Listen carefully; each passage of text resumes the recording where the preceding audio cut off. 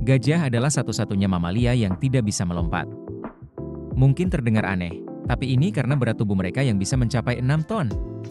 Dengan kaki yang besar dan kuat, gajah lebih memilih berjalan dengan mantap daripada melompat. Selain itu, struktur tulang mereka juga berbeda dari mamalia lain. Mereka memiliki tulang yang padat dan tidak memiliki kemampuan elastis yang diperlukan untuk melompat. Namun, meski tidak bisa melompat, gajah sangat lincah dan bisa berlari dengan kecepatan hingga 40 km per jam.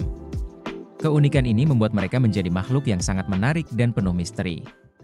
Buaya adalah hewan yang sangat menarik. Tahukah kamu, buaya tidak bisa menjulurkan lidahnya keluar?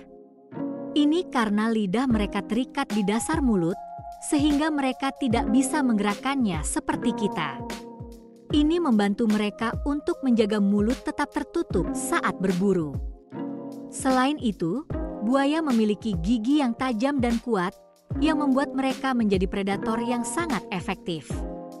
Dengan tubuh yang besar dan kulit yang keras, mereka bisa bertahan hidup di berbagai lingkungan. Jadi, meskipun terlihat tenang, buaya adalah pemburu yang sangat lihai. Otak manusia meski hanya seberat 1,4 kg, memiliki kekuatan luar biasa. Bayangkan, organ kecil ini menggunakan sekitar 20% dari total energi tubuh kita.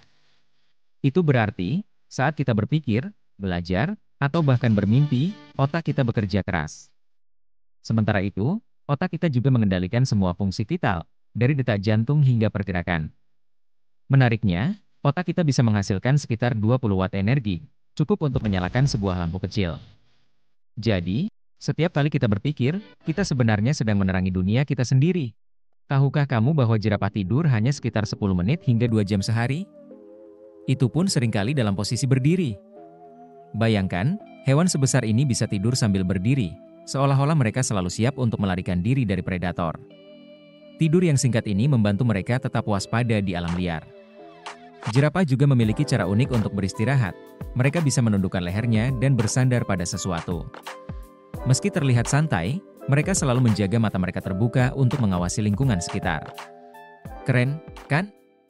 Di Jepang, mesin penjual otomatis bukan hanya untuk minuman. Bayangkan, kamu bisa menemukan mesin yang menjual payung, makanan panas, bahkan barang-barang unik seperti kaos kaki. Setiap sudut kota dipenuhi dengan mesin ini, membuat hidup lebih praktis. Misalnya, saat hujan tiba-tiba, kamu bisa langsung membeli payung tanpa harus mencari toko. Dan yang lebih menarik, banyak mesin yang menawarkan produk lokal, jadi kamu bisa mencoba camilan khas Jepang dengan mudah. Inovasi ini benar-benar mencerminkan efisiensi dan kreativitas masyarakat Jepang. Siapa yang sangka, mesin penjual otomatis bisa jadi solusi untuk berbagai kebutuhan sehari-hari. Lidah bunglon itu memang luar biasa. Panjangnya bisa mencapai dua kali lipat dari tubuhnya. Bayangkan, saat berburu, ia meluncurkan lidahnya dengan kecepatan luar biasa, hampir secepat kilat. Lidahnya yang lengket itu mampu menangkap serangga dengan presisi yang mengagumkan. Selain itu, lidah bunglon juga bisa menjangkau tempat-tempat yang sulit dijangkau. Ini semua berkat otot-otot khusus yang membuatnya bisa menarik lidahnya kembali dengan cepat. Jadi, saat kita melihat bunglon, ingatlah betapa hebatnya adaptasi alam ini. Pernahkah kamu bertanya-tanya kenapa zebra memiliki garis-garis hitam dan putih yang mencolok? Ternyata, garis-garis ini bukan hanya untuk penampilan. Penelitian menunjukkan bahwa pola ini membantu menghalau lalat. Ketika lalat mendekati zebra, pola garis ini membingungkan mereka, sehingga sulit bagi lalat untuk mendarat. Ini sangat penting karena lalat bisa membawa penyakit yang berbahaya bagi zebra. Jadi, setiap kali kamu melihat zebra berlari di padang, ingatlah bahwa garis-garisnya adalah senjata alami melawan serangga pengganggu. Menarik, bukan? Pernahkah kamu berpikir tentang berat awan? Ternyata, awan bisa memiliki berat lebih dari 500 ribu kilogram. Bayangkan, itu setara dengan berat 100 gajah dewasa. Awan terdiri dari jutaan tetes air kecil yang melayang di udara. Ketika suhu turun, tetes-tetes ini berkumpul dan membentuk awan yang kita lihat di langit. Meskipun terlihat ringan, awan itu sebenarnya sangat berat. Jadi, saat kamu melihat awan putih yang indah, ingatlah bahwa di atas kepala kita ada jutaan kilogram air yang siap jatuh sebagai hujan. Menarik, bukan? Sungai Amazon, sungai terpanjang di dunia, menyumbang sekitar 20% dari total aliran air sungai ke laut.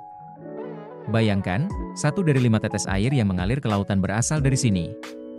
Dengan panjang lebih dari 7.000 km, Amazon bukan hanya sumber kehidupan bagi jutaan spesies, tetapi juga memainkan peran penting dalam mengatur iklim global.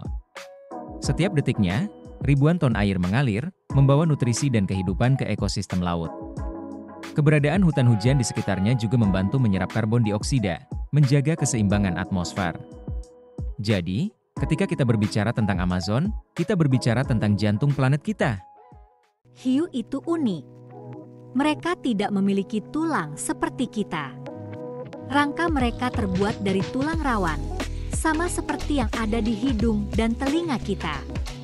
Ini membuat mereka lebih ringan dan fleksibel, sehingga bisa bergerak dengan lincah di dalam air. Bayangkan, hiu bisa berenang dengan kecepatan tinggi tanpa beban berat. Selain itu, tulang rawan juga membantu mereka bertahan hidup di lingkungan laut yang keras. Jadi, saat kita melihat hiu, kita tidak hanya melihat predator yang menakutkan, tetapi juga makhluk yang sangat beradaptasi dengan lingkungannya. Fascinating, bukan? Kucing itu makhluk yang unik. Tahukah kamu, mereka tidak bisa merasakan rasa manis, ini karena mereka kekurangan reseptor rasa manis di lidahnya. Jadi, saat kita menikmati kue atau permen, kucing hanya bisa melihat dengan penasaran.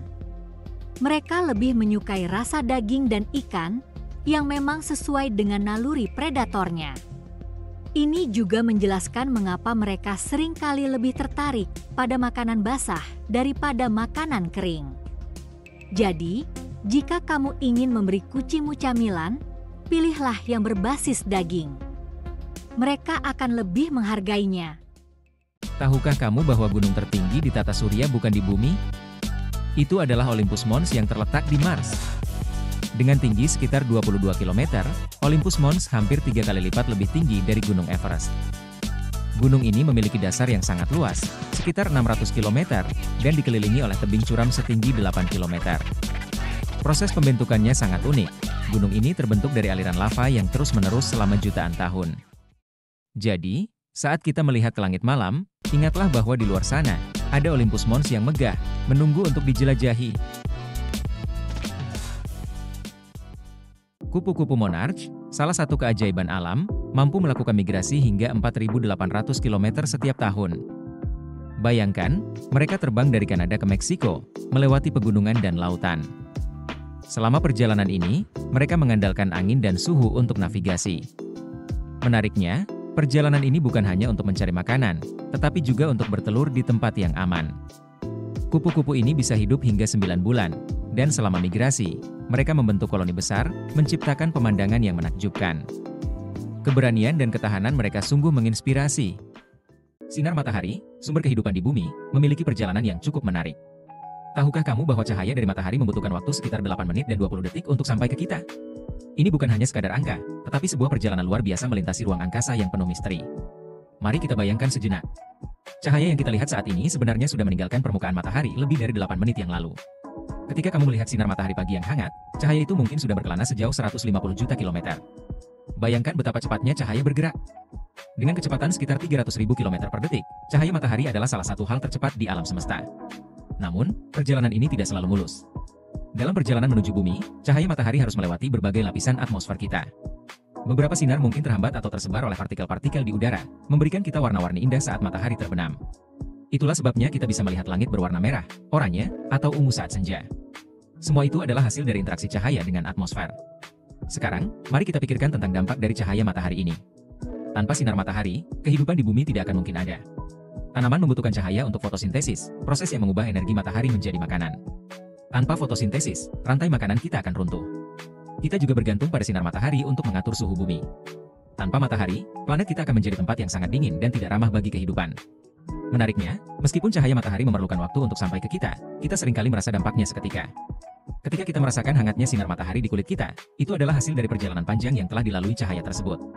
Kita bisa merasakan energi dan kehidupan yang dibawa oleh sinar matahari, seolah-olah kita terhubung langsung dengan bintang yang jauh itu. Jadi, setiap kali kamu menikmati hari yang cerah, ingatlah bahwa cahaya yang menyinari wajahmu adalah hasil dari perjalanan yang panjang dan menakjubkan. Sinar matahari bukan hanya sekadar cahaya. Ia adalah penghubung kita dengan alam semesta, sebuah pengingat bahwa kita adalah bagian dari sesuatu yang jauh lebih besar.